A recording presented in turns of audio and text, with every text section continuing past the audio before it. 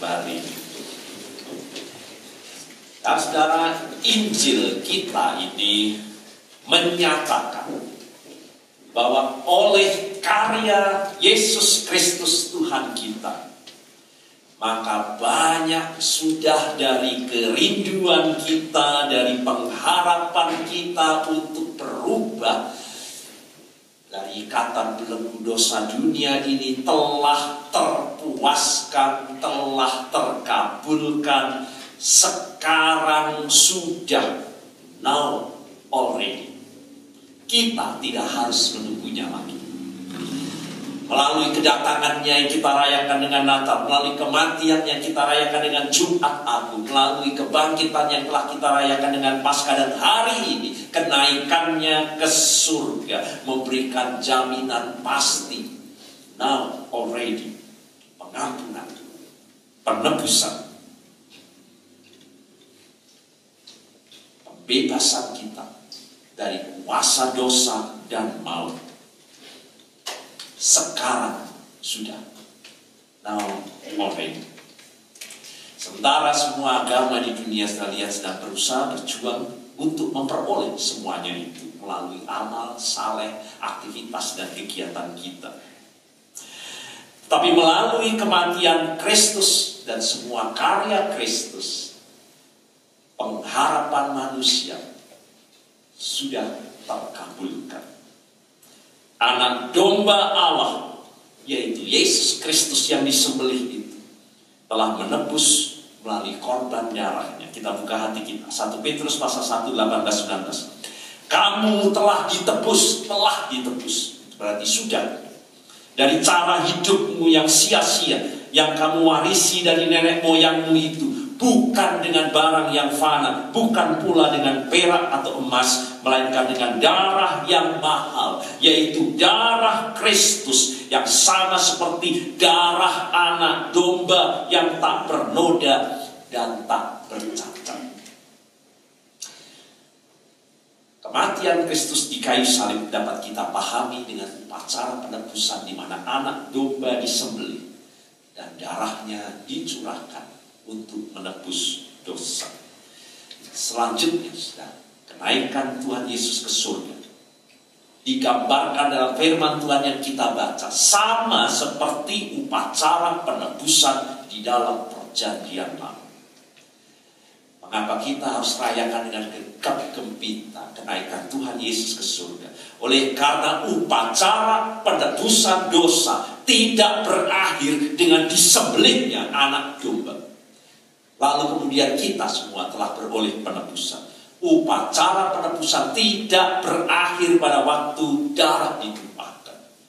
Itu sebabnya hari ini kita melihat bagaimana Tuhan Yesus sendiri digambarkan bukan hanya sebagai anak domba Allah, tetapi juga digambarkan sebagai imam agung yang besar. Setelah domba disembelih, saudara, dan darahnya dicurahkan, maka hanya ada satu imam besar aku dengan membawa darah domba yang telah ditumpahkan itu. Dan satu-satunya saja yang boleh masuk ke ruang maha kudus membawa darah anak domba. Dan di dalamnya dipercikkannya dan ditumpahkannya darah anak domba itu. Dan syafaat dinaikkan oleh imam agung yang membawa 12 batu terukir semua nama suku Israel mengatasnamakan dosa umat Israel. Dan penebusan terjadi di ruang maha kudus. Pada saat darah itu ditumpahkan oleh imam besar sebagai korban penebusan dosa di hadirat Allah. Dan demikian makna dari kenaikan Tuhan Yesus ke surga. Bahwa Kristus dinyatakan sebagai imam besar agung yang terakhir. Menuntaskan penebusan kita itu dengan masuk ke ruang maha kudus yang sesungguhnya yang bukan buatan ciptaan manusia seperti tabernakel atau kemah suci atau bait Allah lambang dan simbol dari hadirat Allah tetapi masuk ke hadirat Allah yang sesungguhnya ruang maha kudus yang sesungguhnya. Membawa korban dirinya sendiri, darahnya sendiri yang telah dikorbankan di Golgota, di hadirat Allah. Dan di situlah penebusan menjadi tuntas dan terjadi untuk kita umat manusia. Saya bacakan firman Tuhan. Sebab Kristus bukan masuk ke dalam tempat kudus buatan tangan manusia, yang hanya merupakan gambaran saja. Ruang kudus di bait Allah tabernakel itu hanya gambaran saja dari surga yang mulia. Hadirat Tuhan yang sebenarnya. Tetapi dalam surga sendiri untuk menghadap hadirat Allah guna kepentingan kita yaitu penebusan kita. Yesus masuk ke ruang maha kudus yang sebenarnya. Itulah kenaikan Yesus ke surga yang tidak dibuat oleh tangan manusia dengan membawa darahnya sendiri anak domba Allah dan sebagai imam besar agung membawa kemanusiaan kita yang berdosa ini di hadirat Allah. Maka terjadilah penebusan dosa untuk selamanya yang memperdamaikan kembali ikatan yang rusak antara Allah dan manusia dan dengan itu telah terjadi pelepasan yang kekal bagi kita orang-orang yang berdosa. Itu sebabnya hari ini kita merayakannya, saudara. Jadi penebusan, pengampunan dosa, persekutuan dengan Allah yang terpisah oleh karena dosa itu sekarang selamanya terjamin sudah sudah. Merupakan kenyataan yang kita miliki. Sekarang sudah. Now already. Tidak perlu kita menunggunya lagi. Rekonsiliasi manusia dengan Allah. Dan kemudian juga satu dengan yang lainnya dengan orang lain adalah kenyataan sekarang yang sudah kita nikmati now already. Juga dengan dicurahkannya roh Allah yang akan kita rayakan 10 hari lagi nanti dalam hari raya Pentakosta adalah realitas sekarang sudah. Kita hidup dapat hidup dalam kepenuhan roh Allah, roh kudus. Kita dapat hidup dalam karunia-karunia roh kudus yang heran dalam kehidupan kita. Sekarang sudah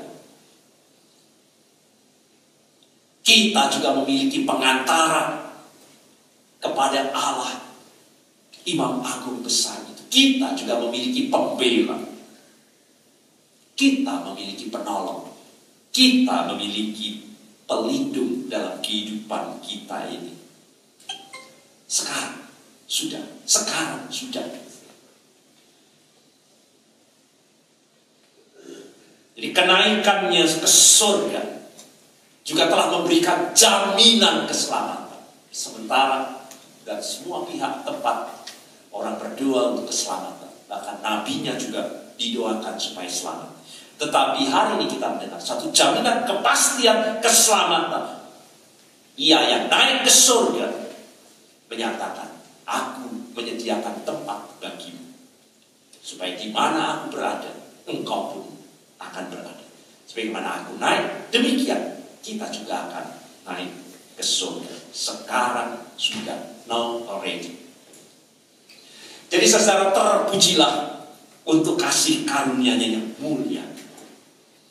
Injil mengatakan saudara bahwa banyak kerinduan kita umat percaya telah terpuaskan sekarang sudah.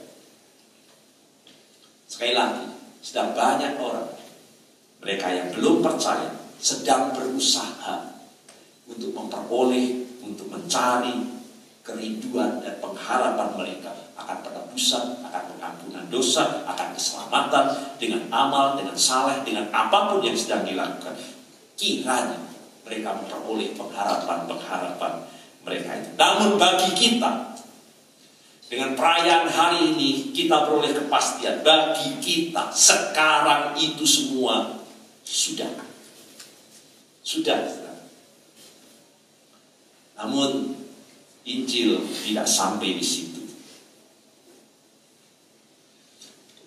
Hari ini kita juga mau diajar untuk bersabar dan percaya, beriman kepada Tuhan dan kita masih harus waspada dan kita masih harus berjaga-jaga. Inilah yang dikatakan saudara suatu semacam kontradiktif menyambut realitas karya Tuhan dalam hidup kita. Now, tadi kata saya katakan sudah already, but not yet. But not yet. Sekarang sudah, dan belum juga. Artinya, saudara, satu segi haus dan dahaga kita dipuaskan sudah tetapi mari kita ingat, ini belum sepenuhnya. Kita telah menerima dan mengalami keselamatan dengan segala manfaatnya sekarang, sekarang sudah. Tetapi kita juga masih diingatkan bahwa kita masih menunggu kepenuhannya.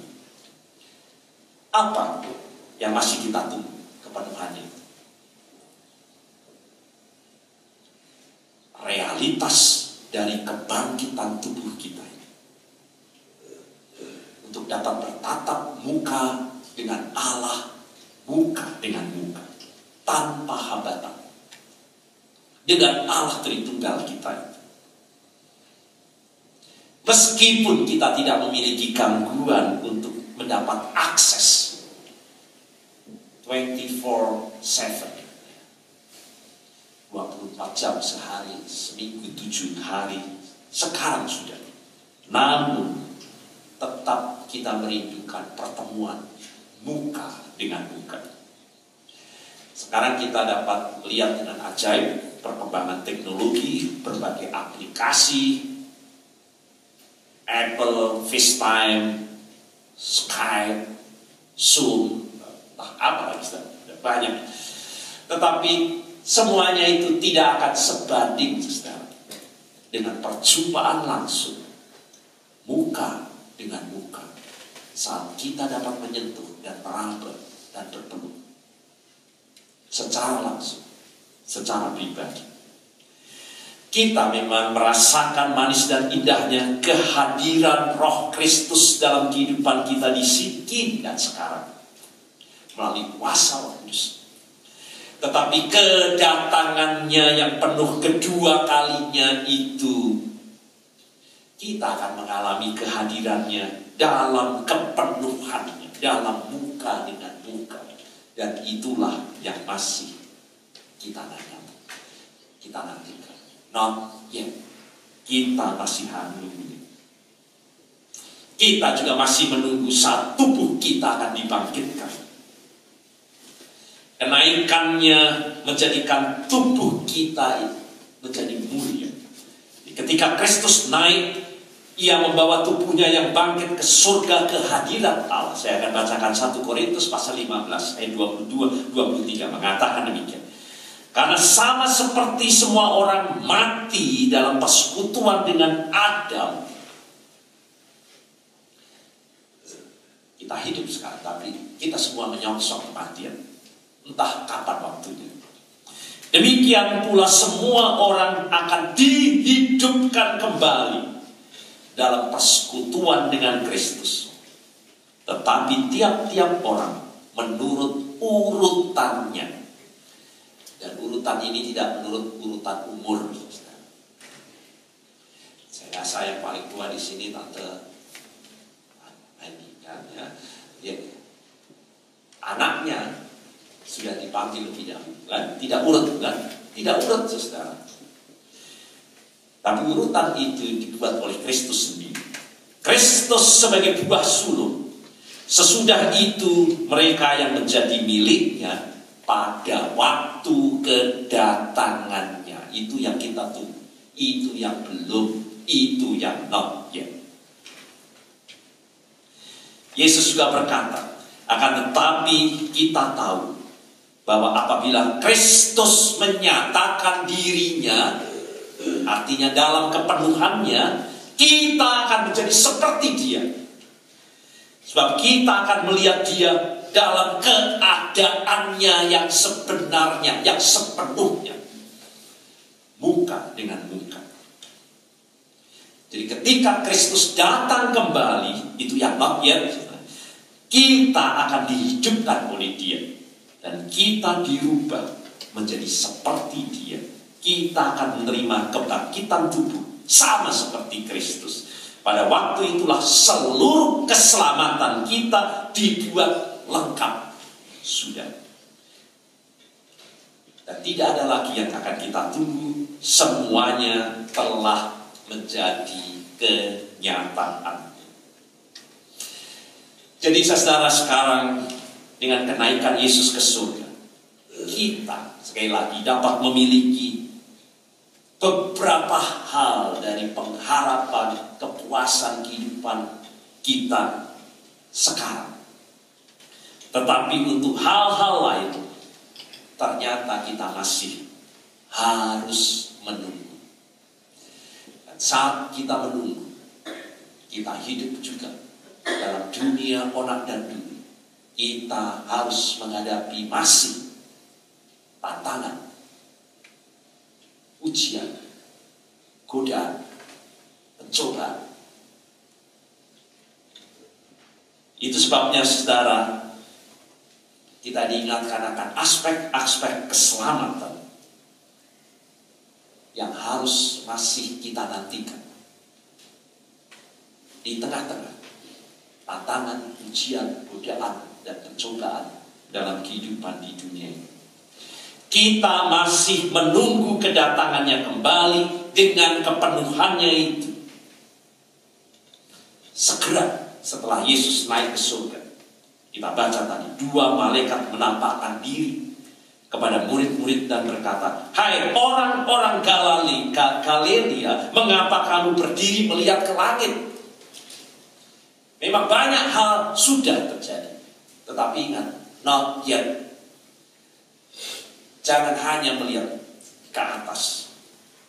Yesus ini yang telah diambil dari dari kamu ke surga akan datang kembali dengan cara yang sama seperti kamu melihat dia naik ke surga. Jadi kenaikannya juga menegaskan ada banyak yang sudah sekarang tetapi juga dengan sangat eksplisit dan gamblang. Yesus menyatakan dalam kenaikannya ada yang not yang harus kita nantikan dengan sabar, dengan waspada, dengan berjaga-jaga yaitu kedatangannya kembali.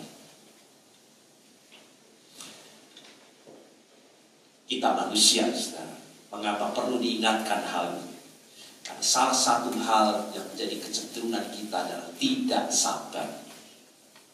Sebagaimana murid-murid terus melihat ke langit, tak sabar lagi kepenuhan. Tetapi malaikat Tuhan berkata, kembalilah kepada kehidupan sehari-hari dan dengan sabar menantikan yang not yet yang tak pernah kita tahu kapan waktunya menanti dengan sabar kepenuhan hidup dalam kerajaan Allah maka waspada berjaga-jaga tidak coba Hal ini penting untuk kita ingat bersama. Karena kita hidup dalam budaya Amerika. Kita tahu salah satu budaya Amerika yang paling menonjol adalah ketidaksabaran. Jadi kalau saudara di jalan raya, saudara apa pun, saudara melihat ada luapan gejolak, eh, ketidaksabaran, itulah budaya kita. Bangsa yang dikatakan sukar dapat sabar selalu terburu-buru dengan waktu, speed tergesa-gesa dengan aktivitas. Kita ada dalam heavy activity yang luar biasa. Makan juga makanan yang cepat saji, cepat saji. Fast food. Makin banyak juga yang tidak sabar sehingga harus memiliki check out pribadi. Jalan raya juga demikian, saudara sekarang Bahan saudara menuju ke Palu Alto, juga harus punya fast track. Kita lebih senang membaca blog daripada sekarang membaca buku. Kita hanya tinggal tanya Siri daripada kita belajar. Kita tanya apa itu dan segera akan ada jawabannya.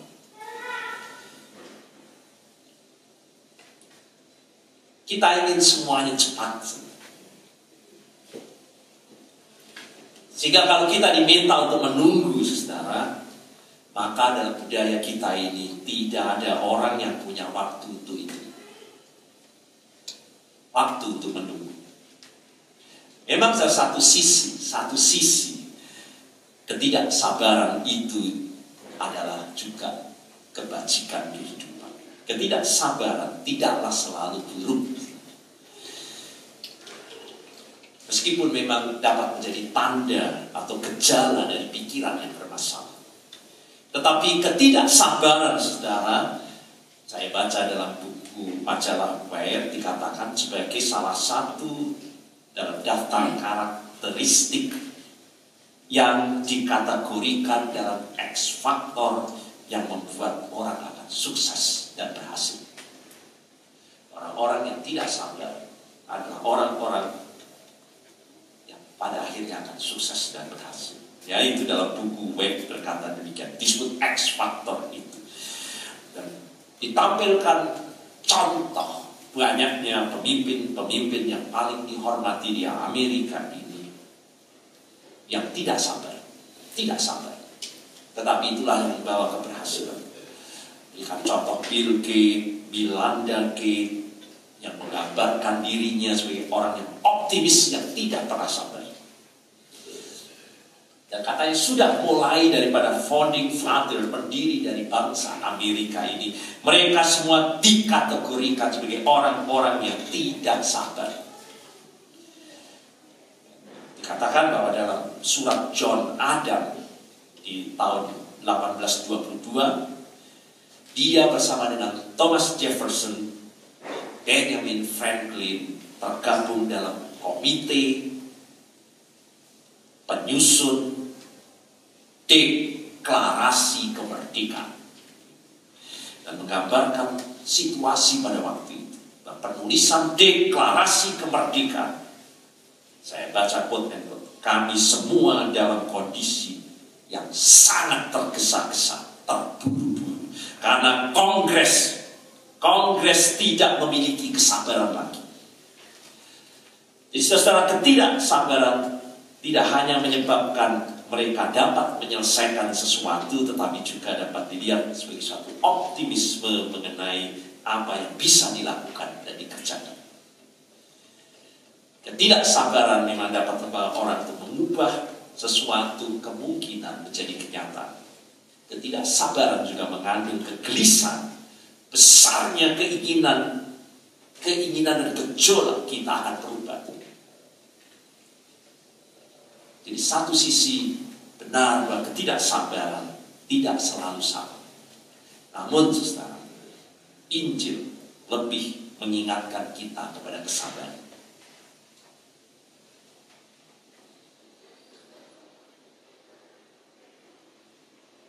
Mengapa demikian? Meskipun ketidaksabaran dapat menjadi kebajikan, tetapi segera Injil menambahkannya kecerobohan akibat ketidaksabaran adalah suatu realitas atau the real problem dalam kehidupan kita ini. Akibat dari ketidaksabaran terburu-buru itu adalah the real problem dalam kehidupan manusia dan saudara tidak perlu susah untuk mencari daftar yang panjang tidak sedikit kita menyaksikan musibah, kecelakaan, tragedi yang memilukan problem dalam kehidupan manusia, pertikaian, perpecahan, perceraian dan sebagainya disebabkan oleh karena kecerobohan yang muncul karena ketidaksabaran.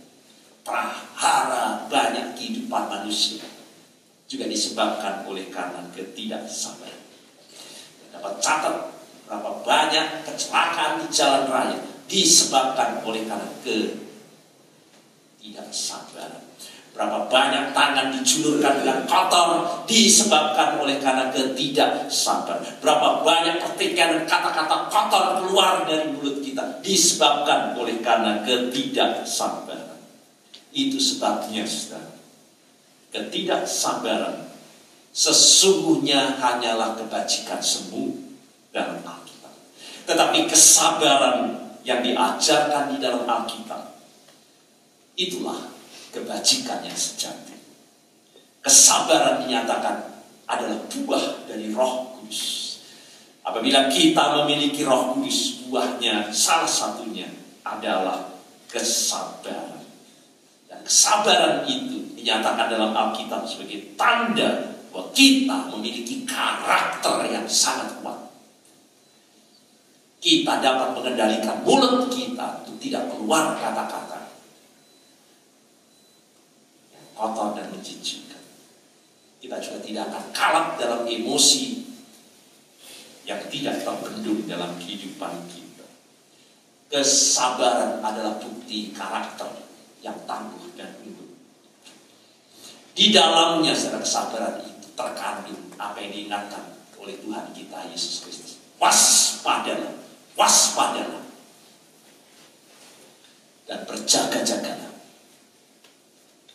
Itulah panggilan kita saudara saat kita menantikan bersama kepenuhan.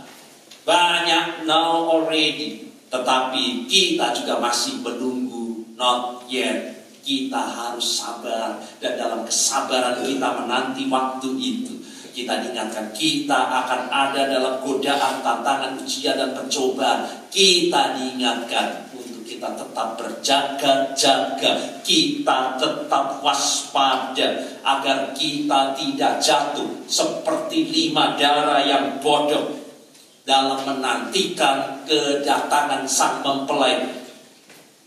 Sehingga mereka membawa pelita tetapi tidak berjaga-jaga dengan membawa minyak. Sehingga pada waktu Yesus datang, pelitanya padam. Karena itu saudara, mari kita bersuka cita dalam perayaan kita, kenaikan Tuhan Yesus ke surga. Tetapi sekaligus juga, mari kita waspada dan berjaga-jaga. Sebab kamu tidak tahu akan hari maupun akan saatnya di mana kepenuhan itu akan terjadi dalam kehidupan. Amin.